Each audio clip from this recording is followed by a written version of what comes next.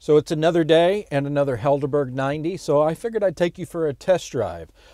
This uh, this 90 is quite spectacular, quite beautiful, and it will be uh, making its way to North Carolina, where it will be going to a new home. But I'm going to take you for a ride in it. But before I get started, there's a question I get asked often about if it has a block heater. Uh, so I've had a number of individuals say, "Hey, it's a, it's a diesel. Does it have a block heater? Can I leave it outside during cold weather?" And let me tell you, we've had a serious cold snap here in Sharon Springs, New York. Winter is finally here. And it got down into the very low digits and it starts up. So the only thing that I want to point out is when you're starting a diesel, it takes one little trick that you have to follow. And that's just to turn on the key to a point, don't start it yet, watch for the glow plug light to light up, and then when it goes out, which is really quick, generally in about a, two seconds, then you can start it. So here we go, and I'll go over all the details of this lifted Helderburg. But I'll start out where you can just hear it at first.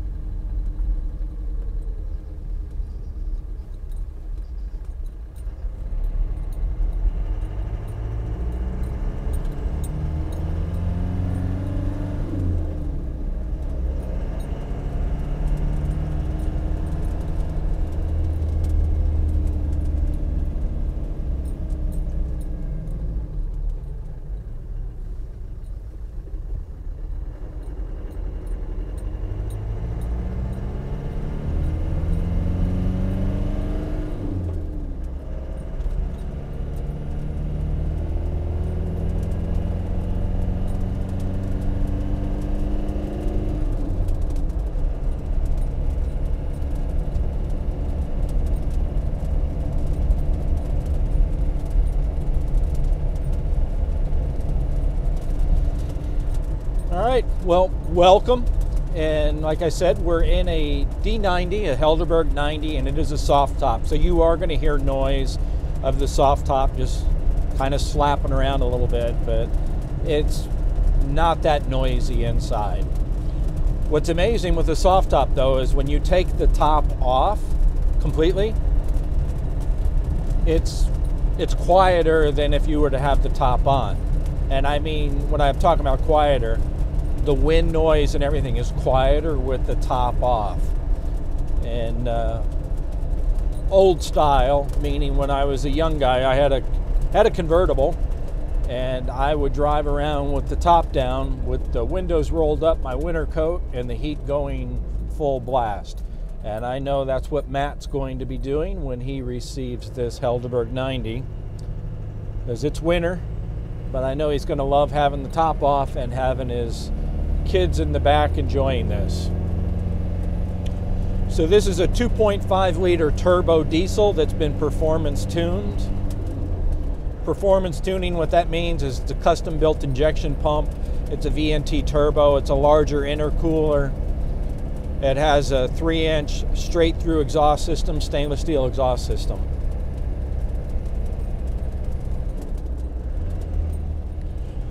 With the performance tuning, there's a few other things we do, and the goal of that is really to increase the horsepower, but more importantly, is to increase the torque.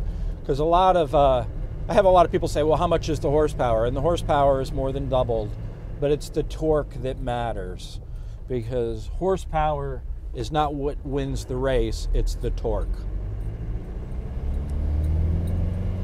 Five speed manual transmission, as I mentioned, but what we do is we re gear the transmission and re gear the differentials. And by doing that, it allows us to have the highway speeds. And I know if you've watched any of my videos, you'll know that I am not a fan of doing any type of a swap to a Defender, meaning putting in another brand motor, like a Chevy motor or a Dodge motor, into a Defender because it takes away all collectible value. Then you have a Frankenstein truck that will not go up in value. You just have basically a toy car that will go down in value. So if you're doing this for investment purposes or for an heirloom investment to give to your children or you know you don't want to take the chance of it going down in value, you need to keep it to its original configuration. And when I say original configuration, that doesn't mean you need the vinyl seats and no carpet and you can change a lot of things, but you want to keep that original drivetrain. And preferably, if you can keep numbers matching, that would be great. The beauty of the 2.5 liter turbo diesel is it's bulletproof, highly reliable. I've seen many of them with five to 600,000 miles going without an issue. Parts are plentiful, easy to get somebody to work on them. I mean, you can go to an independent mechanic that can work on a diesel, can work on one of these. There's no computer in this, so you don't have computer issues, and computers are what put that black cloud over Land Rover's reputation because they had the Lucas Electronics that caused a lot of issues. This has no computer. So this is the type of vehicle, this is the setup, the configuration that you would see people using in the Outback and the Serengeti because they're highly reliable, very easy to work on. They don't take any special tools, and uh, you don't need many tools to work on one. And the parts are just so simple. So, highway speeds are not an issue. So, that's the drivetrain. Um, let's talk a little bit more specifically. This one's been lifted, so we put about a three inch suspension lift anytime we do a lift, we do it properly. It's not a body lift, it's a suspension lift. So when you do a suspension lift, that would require heavy duty prop shaft, a heavy duty transmission. You have to change out the radius arms. You got to do a three degree radius arm because when you lift it, you're twisting the axle, so you're making stuff bind, which parts will wear out. That's why you change the radius arm, so you put everything, the geometry back the way it should be. It's on a 35 inch open country Toyo tire, which is really quiet and is not like the Maxxis Trepadors that I use oftentimes. They handle well, they do well in the snow, they do well in the mud, they do well in rain. They're an all around nice tire. A little more aggressive looking than a KM3 in my opinion. This does have the bead locker wheels on it, and with doing the lift with bigger tires and those heavy wheels, then that means a heavy duty axle too. It has Fox shocks on it. It has Fox uh, Fox springs, and the ride is firm, but it doesn't beat you up. It does have anti-sway bars underneath, so if you're on the highway and doing the on ramp to off ramp, then you don't have all that body roll. It stays pretty flat and true, which uh, anti roll bars did not come on Land Rovers originally. So we custom fabricate the brackets for that to happen. But you know, a lot of our defenders, I would say that you know they spend 70 to 80 percent of their life on the road not off-road but a lot of our clients the vast majority of our clients do also do some off-roading and this vehicle or any of the vehicles that we build can definitely handle the off-roading without an issue it has limited slip differentials in the front and the rear and then of course you have the transfer case you don't have to get outside to lock differentials in you just lock it through the transfer case inside the cabin so you can stay warm and dry. And then that allows you to actually have a four wheel drive where your front and your rear is pulling together.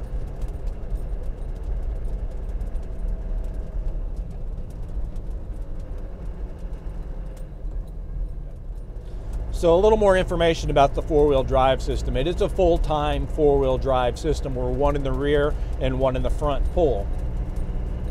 But again, when you lock it into the transfer case, that what you're doing is you're you've got actually four different settings. You've got a four high, four low, which is your your four high could be your driving where one in the rear, one in the front is pulling.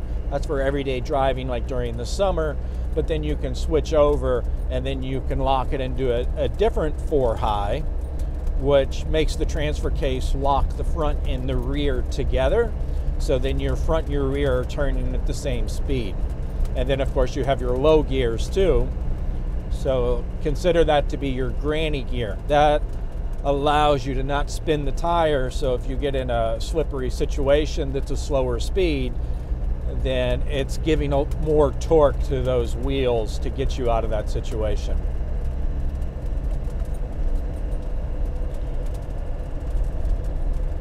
So on this one, it's Corris gray, which is a beautiful color. Uh, Corris gray is a metallic color, and then we did a black soft top. The thing you'll probably notice the most is the interior. So the interior is definitely like a, uh, let's say, a basketball color. It's a brownish orange, or call it an orange brown. It does have a diamond stitch interior, and then we did an orange contrasting stitch. So 100% cowhide, everything's leather.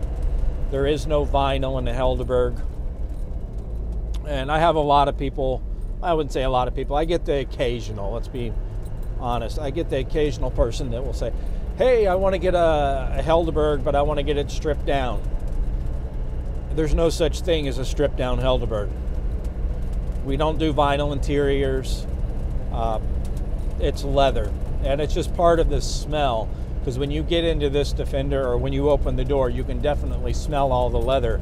We even did the sun visors in leather to match the seats, and uh, just this the feel of this leather. It's very supple. It's a, it feels like a glove leather is what it feels like. Inside the cabin, you will see Apple CarPlay. Uh, you will see LED gauges, LED lighting inside. Of course, the Smith clock. It does have air conditioning and heating. It is the Helderburg exclusive system, so it's a high efficiency unit. It has heated seats. And then, of course, on the outside, it has LED lighting. So, LED headlights, LED turn signals, tail lights.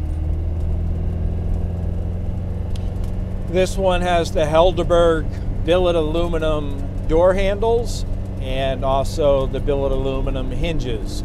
Hinges on the doors, brackets on the windscreen, and then brackets on the bonnet too.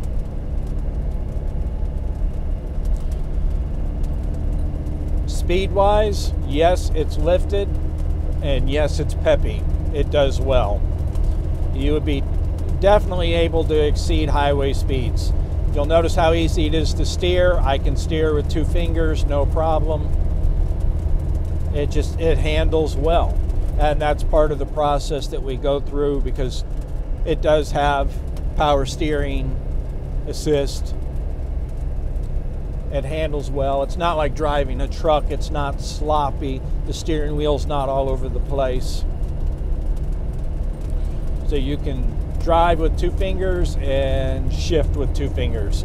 Being a manual transmission, we rework the clutch slave, uh, the spring, and you're able to depress the clutch. I mean, it's very easy. You can actually do it with two fingers. It's so easy. It's, it's a lot like stepping on a brake. Turning radius on this one is quite quite good, even though it's lifted. So I'm on a narrow country road like usual and I could do the turn on this and probably a three point turn. It has black carpet throughout, and of course, it does have sound deadening and insulating. Not as much as our hard top does, because it does have the soft top. This soft top, though, is a unique soft top in the sense that it has the alpine windows across the rear, so just like a hard top, where you have the alpine windows on the top, those additional oval windows, but then it also has the rear wing windows in the very rear. You don't see that on a soft top generally. This soft top was handmade, so it's custom made for this build. And the top comes off in about five minutes and will go back on in about seven minutes. It's a one person job. The top is a three ply material.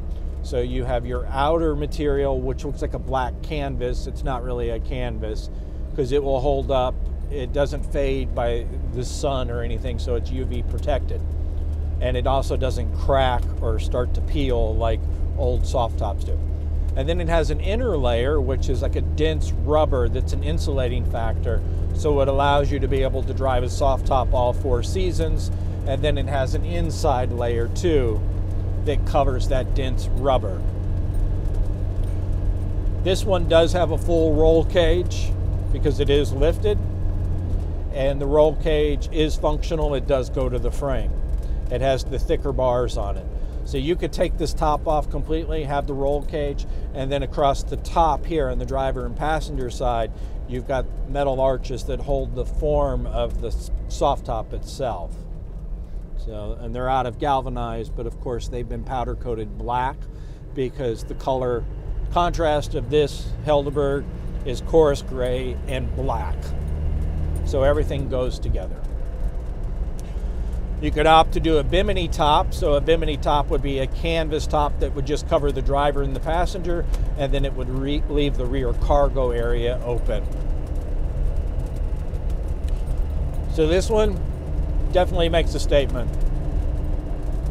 So far I have 32 miles on it, and uh, I went to the local convenience store to put some diesel fuel in it and I had to account for about another 15 minutes as people came up wanting to take pictures.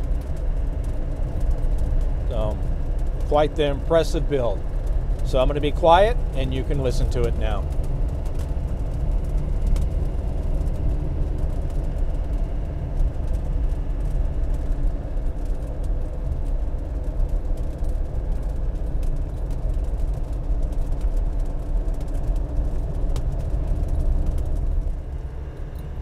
So if you want to see more pictures of this Helderburg 90 called Centurion, Helderburg.com is where you can go. And if you're watching this on YouTube, be sure and subscribe because uh, the next Helderburg Defender that's coming out, I think you will be very impressed if you weren't already impressed with this one. But uh, we have some very interesting ones coming out with some really bold colors. Thanks for watching.